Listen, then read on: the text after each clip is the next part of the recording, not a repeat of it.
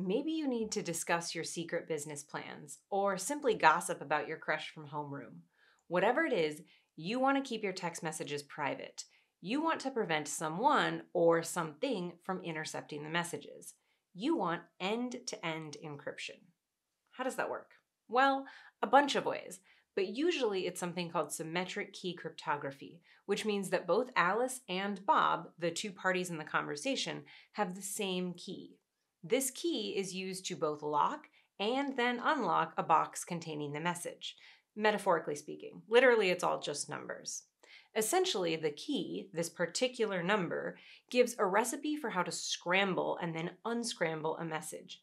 It would be very challenging to unscramble the message without that recipe, without the key. The details of this scrambling unscrambling procedure aren't so important for our purposes. There's a standard way that it's done, and it works pretty well. If you're curious, I'll put some links in the description. Here's the challenge that I want to talk about. In order to do this scrambling, unscrambling procedure, both Alice and Bob need to have the same key. Remember, the key is a number, a giant number. So, how do they agree on that giant number?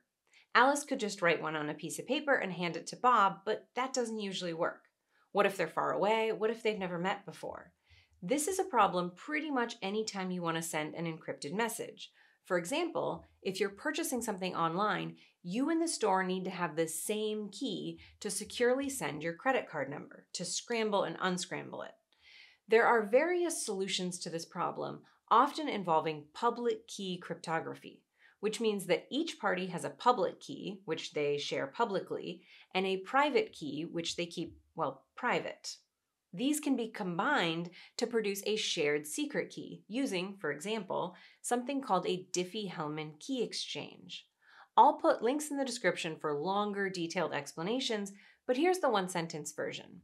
Alice combines, in a specific way, her private key with Bob's public key to make a new key, Bob combines his private key with Alice's public key and ends up with the same key, a shared secret key which can be used to encrypt and decrypt messages.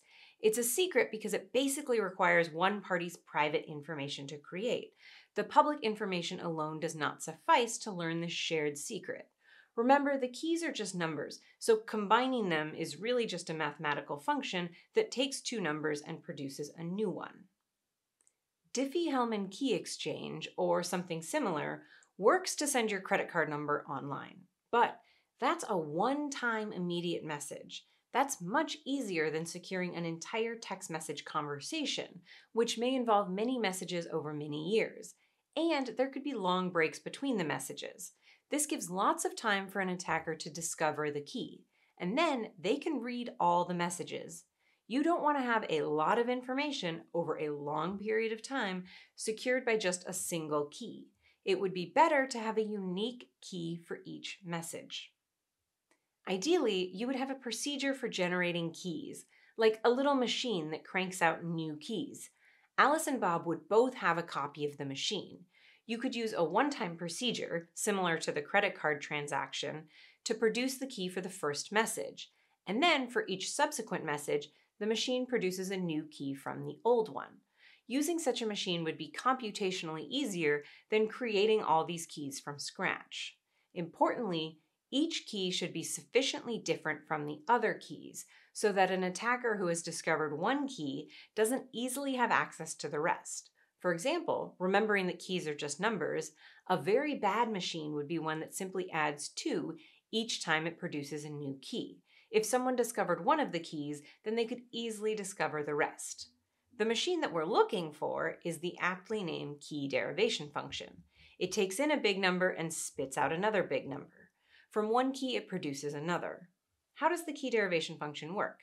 There are actually a bunch of approaches, but at the heart of all of them are functions which are easy to do and hard to undo.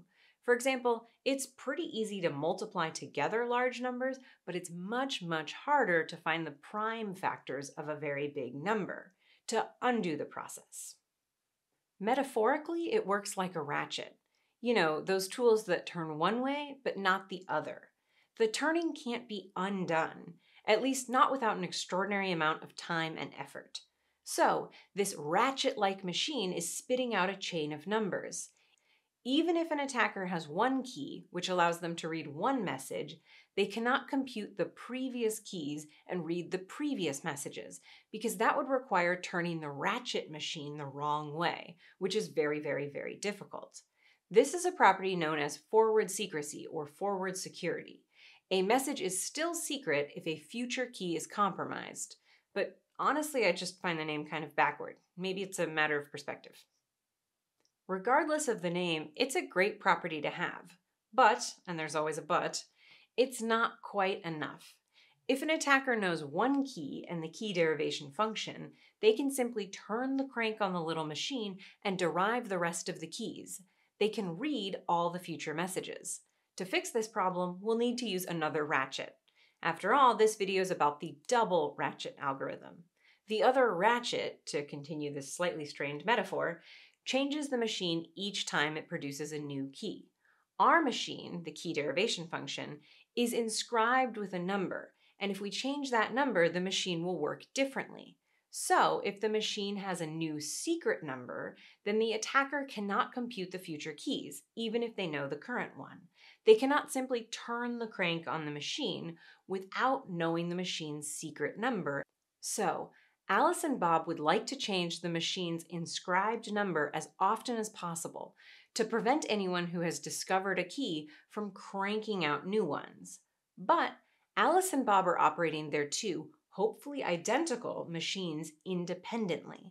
How will they communicate about and agree on a new number? They essentially play ping pong with numbers and then repeatedly do Diffie-Hellman calculations. Remember, Diffie-Hellman creates a shared secret key by mixing Alice's private and Bob's public key, or by mixing Alice's public and Bob's private key. Both mixtures produce the same result. That result, that key, is a number which we will inscribe on both machines. For me, it helps to visualize this ping pong process with colors, as if the machine has a secret color instead of a secret number. So, all color Alice and Bob's keys, and when we combine them, a la Diffie-Hellman, I'll use the result of mixing the colors. Alice and Bob each have a public key and a private key set aside for this process. Let's say Bob wants to send a message to Alice. First, he retrieves Alice's public key. He combines it with his private key through Diffie-Hellman to get a number which will be inscribed on his machine. He uses that machine to produce a key. He turns the crank. Then he encrypts a message with that key and sends it over to Alice. But he also sends over his public key. Now, Alice mixes together Bob's public key, the one he just sent, and her private key using Diffie-Hellman to produce a number which she will inscribe on her machine. It'll be the same number that Bob got. That's the magic of Diffie-Hellman. So, when she turns the crank on her machine, she'll get the same key as Bob, and she can use it to decrypt the message that he sent. Now, Alice wants to reply. She's going to produce a new key to encrypt her reply. But instead of simply turning the crank, she wants to first change the machine's number. She selects a new public and private key and then mixes, via Diffie-Hellman, her private key with the public key that Bob sent over. She updates her machine's inscribed number, produces a key, turning the crank, and then encrypts a message with that key, sending it over to Bob. But just like Bob, she also attaches her public key. Then Bob can mix her public key with his private key to update his machine's inscription before he produces a new key to read her reply. They bounce back and forth like this, sending over keys each time and doing a new Diffie-Hellman calculation. What if Bob wants to send multiple messages in a row? The ping pong only happens during the first message. It won't update again until Alice sends something back. So, if Bob sends 10 messages in a row, the machine's inscribed number is the same the whole time. He produces new keys simply by turning the crank. Using that ratchet, the key derivation function, prevents a successful attacker from being able to read prior messages, but they may be able to produce future keys and read future messages. They will eventually be locked out of the system when Alice replies, changing the machine's number. At that point, Alice and Bob have regained security. This property, enabled by the Diffie-Hellman ping pong of numbers, is known as break-in recovery or post-compromise security. Even if the message thread is compromised, they can eventually regain security to kick out an attacker. In fact, the double ratchet algorithm was originally called the axolotl ratchet, referring to the axolotl salamander, which has self healing properties. They can regenerate parts of their body. That's the broad strokes of the double ratchet algorithm. The two ratchets work in tandem. The key derivation function churns out a chain of keys, one for each message, which prevents an attacker from scrolling up, reading past messages. Every time the machine's number changes, using Diffie-Hellman, an attacker is prevented from scrolling down, reading too many future messages. So, if an attacker wants to read an entire conversation, they essentially need to decrypt each message separately, or at least many of the messages separately. Here's where I have to confess that I've been simplifying something. There's actually two machines at work. Both Alice and Bob have a send machine and a receive machine, but they're flipped.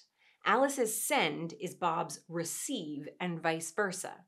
So Alice's send machine and Bob's receive machine produce the keys used for Alice to encrypt and Bob to decrypt messages Besides increasing security, having two separate machines helps sort out which messages arrive out of order, perhaps with a significant delay.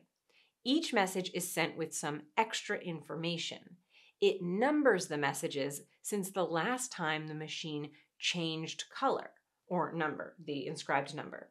And it tells you the total number of messages sent while the machine was the previous color. So, for example, let's say that Alice and Bob have this exchange, but these two messages arrive late. Bob can deduce the correct order in which the messages should have arrived. The order of the messages is very important, not just for the legibility of the conversation, but also for the cryptography. Alice's sending machine and Bob's receiving machine are working independently, producing a hopefully identical sequence of keys. If the messages are scrambled, then Alice may be encrypting them in a different order than Bob is decrypting them, which wouldn't work. Now, every time you text your colleague your elaborate lunch order, you can think of all of the ratchets that are spinning to keep your messages secure. This video is sponsored by Wire, secure messaging, file sharing, and video conferences, all protected with end-to-end encryption. Go to wire.com, W-I-R-E.com, for more information.